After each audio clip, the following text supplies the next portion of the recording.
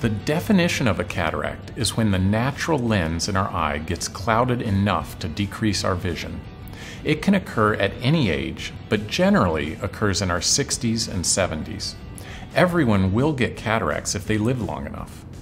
The early symptoms of cataract are usually glare and difficulty with visually demanding tasks, such as driving at night. Later, you may have difficulty reading or seeing road signs and impaired color vision. The decision to remove your cataract is made between you and your surgeon after discussing your vision problems, your eye health, and the risks and benefits of cataract surgery. You alone can decide when your vision has decreased to the point where you want to have it removed.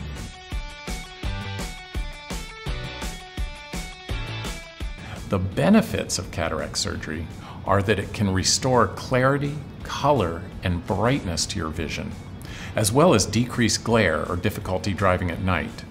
A big additional benefit is that it can enable you to see clearly even without glasses. If you elect to have a multifocal lens implanted, you may be able to see both near and distant objects without glasses.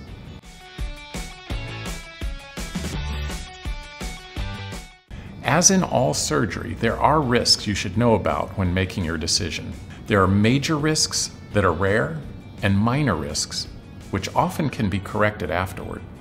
The major risks are retinal detachment, infection, or bleeding inside the eye. Those are rare, but could damage your vision permanently or require further surgery. The minor risks are that the lens implanted could leaving you still needing glasses, prolonged inflammation, swelling in the back of your eye, or glare. Sometimes we need to do a little laser to correct any residual prescription for glasses.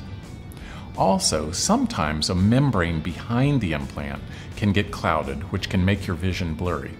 If this occurs, there's a simple, low risk, and painless laser that we perform in the office to permanently clear the membrane.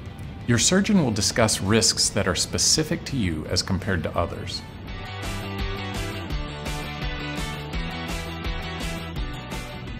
After your eye exam, we will scan your eyes to help determine the power of lens that works for your eye to give the desired result of no nearsightedness or astigmatism, so you can see clearly without glasses. Once you've decided to have cataract surgery, we must also decide what type of lens to put in. There are three basic types of lenses a single vision lens, this lens is to allow you to see distant objects clearly, but you still would need glasses to see near objects, and to correct astigmatism if you have any. The second type of lens is a toric lens. This is a lens that corrects astigmatism and allows you to see distant objects clearly, but would still require glasses for near objects. The third type of lens is called a multifocal lens. This is a lens that has a special design that allows you to see distant and near objects clearly.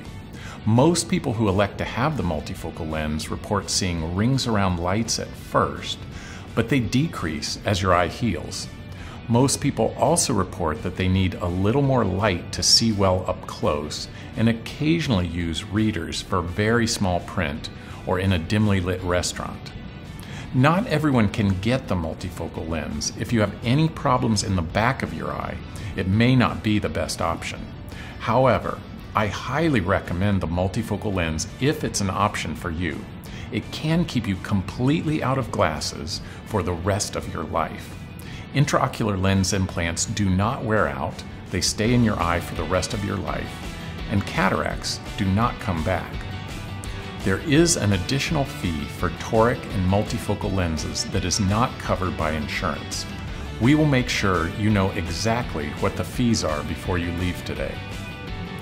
Cataract surgery is done at an outpatient surgery center and with mild sedation.